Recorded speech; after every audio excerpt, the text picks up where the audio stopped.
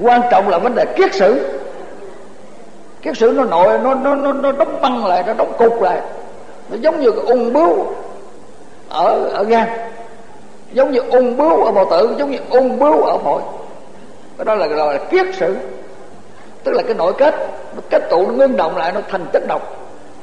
Mà tham sân si mạng nghi ác kiến thần kiến, biên kiến, tà kiến kiến thủ kiến, giới cấm thủ kiến, nó ngưng động lại, nó thành cái ung bướu ở trong tâm hồn của con người.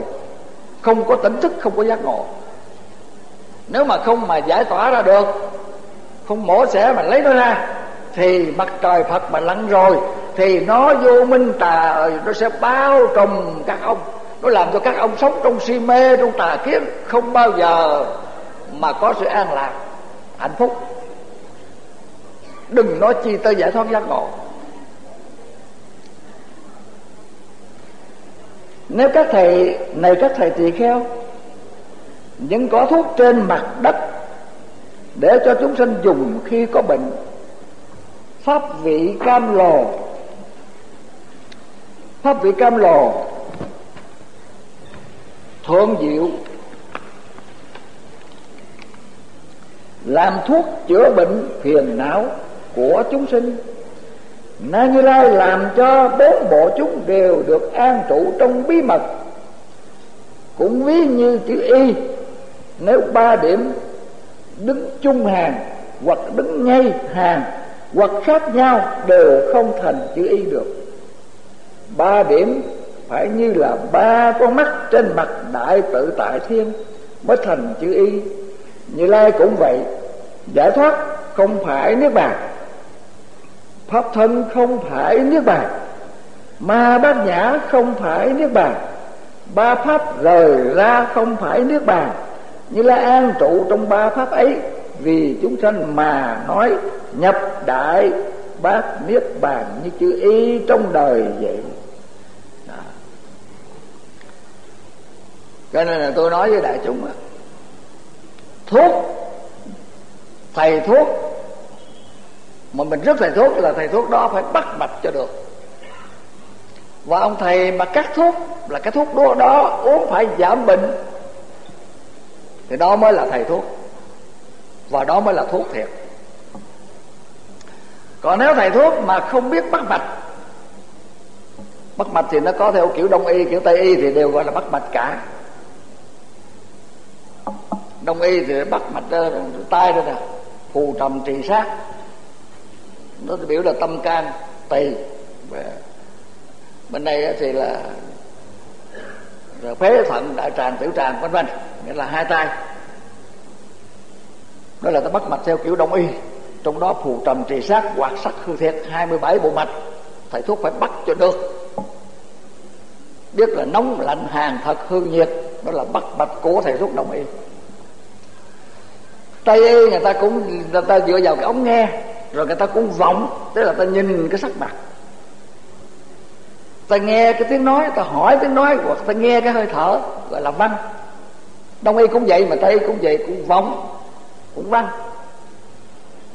Cái thứ ba là vấn, phải hỏi để cho cái người bệnh đó trả lời. Mà ta có cách hỏi của ta. Mỗi câu hỏi, một câu trả lời, là người ta nhận một cái bệnh gì ở trong con người đó ta biết vậy lần nữa cái thứ tư là bắt mạch. Bên đông tây y thì người ta nghe bằng cái ống nghe. Bên đông y thì ta lấy tay ta để lên cái bộ bộ thốn bộ quan, bộ xích, hai tay, để ta biết. Thế là thầy thuốc là phải biết bắt mạch. Mà từ cái biết bắt mạch đó cho thuốc thì uống phải thuyên giảm bệnh, cho tới lành bệnh. Thì đó mới gọi là thầy thuốc giỏi. Thầy thuốc thật. Cũng vậy, kinh điển của phật cũng vậy. Phật là đấng pháp vương. Vô thượng y vương là ông thầy thuốc vô thượng.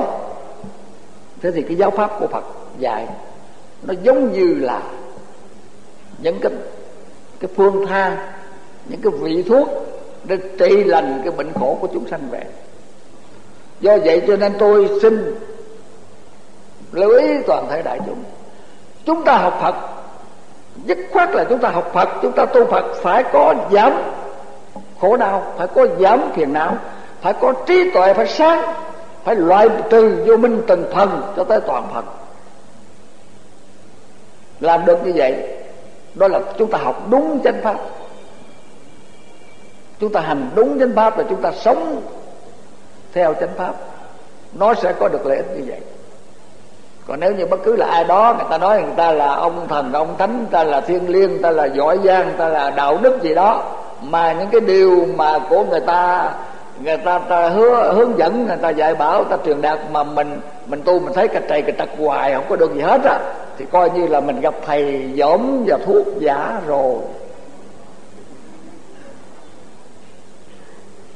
Và riêng tôi thì đừng bao giờ có ý nghĩ hy vọng ở nơi cái sự cầu nguyện dân sinh, bất cứ một ông thần thánh ngoại lai nào, mà người đệ tử Phật phải là cải tạo phiền não vô minh, xây dựng bồ đề niết bàn, xây dựng giới định tuệ, giải thoát giải thoát tri kiến là tự mình có cái giải thoát và cái giác ngộ. Chứ không ý lại nó tha nhân đó là cái tiêu chuẩn của người đệ tử học Phật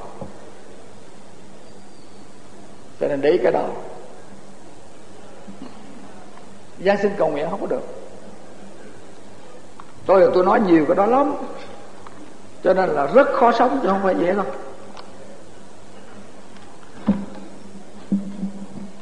Cái chữ Y nó như thế này nè.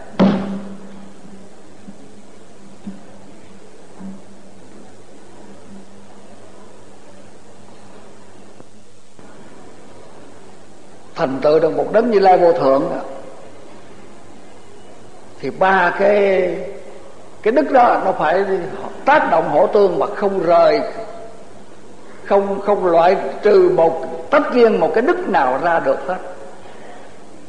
Đó là đức pháp thân. Pháp thân tức là phật đó. Pháp thân phật là chỉ cho phật. Một phật đó là là Phật pháp thân đó, là gì, là cái gì? Là chữ Phật. Thường thường ta dịch chữ Phật là giác. Mà cái cái pháp thân đây đó, tức là chỉ cho cái tánh giác. Mà cái tánh giác đó là tánh giác chân không, tánh không chân. Giác. Thanh tịnh bản, nhiên. Châu biến pháp giới. Đó, mình nói tới đó thôi. Thế thì pháp thân phật là cái gì? Là cái tánh giác. Mà tánh giác đó là chân không. Chân không nghĩa là nó không là cái gì hết, mà nó là tất tất cả trong khắp trong cái vũ trụ. Trong cái không gian, cái thời gian, cái vũ trụ mà ta đang sống đây, không có chỗ nào không, mà cái tánh giác đó không có đây gọi là tánh giác chân không tức là nó đồng với chân không. Mà gọi là cái tánh chân không trùm khắp không gian thời gian đó là cái tánh giác đó. À là, là tánh giác chân không. Tánh giác là chân không. Mà cái chân không là cái tánh tánh không đó là cái chân giác. Tức là cái đức pháp thân là cái đó đó. Do vậy cho nên cái pháp thân mà làm sao mà mà là tan hoại mà mất mát đi đâu được. Nó hiện hữu và nó tồn tại khắp không gian vô tận, khắp thời gian vô vô cùng. Tất cả mọi sự vật hiện tượng đều là là cái hiện tướng duyên sanh từ nơi cái pháp thân. Biến cái thiết xứ đó mà nó duyên khởi ra. Do vậy cho nên tất cả hiện tượng quan pháp đều là cái sản phẩm của pháp thân pháp thân là cái tổng thể để duyên sanh ra hiện tượng vạn pháp. Thế thì là cái chữ pháp thân phật tức là cái tánh giác chân không, tánh không chân giác dạ. cái đó nó thanh tịnh bản nhiên. Chính cái chữ thanh tịnh bản nhiên đó là chỉ cho phật đó. Là pháp thân phật phật là giác. Không có phiền não vô minh. Cái tánh đó không bao giờ có cái sự đau khổ nào trong đó tôi gọi đó là là là là, là, là tánh giác chân không tánh không chân giác nó thanh tịnh bản nhiên hồi nào tới bây giờ nó vẫn không có phiền não vô minh nó không có mọi nguyên nhân đau khổ. Mà tính đó nó châu biến pháp pháp giới. Do vậy cho nên là khi nào mà có một động vật hữu tình như chúng ta mà sanh thì nó giống như này. Đây bây giờ đây. Đây là không có cái gì hết. À một cục đất. Mà bây giờ ta khoét ra ta để được cái máy xe ta quét và móc cái ruột ra thì ta sẽ điều bây giờ đây là cái tính không chân giác đó. Nó hiện ngay tức khắc. Ngay như ta để cái tay mà ta, ta lấy cái lòng của đất nó xây ra nó thành ra là ta ta lấy cái đất tới đâu? Là cái tính giác chân không đó nó nó hòa nhập vào nó len lỏi vào tới đó không có vấn đề trước sau. Thế thì là thành một ông phật đó mà.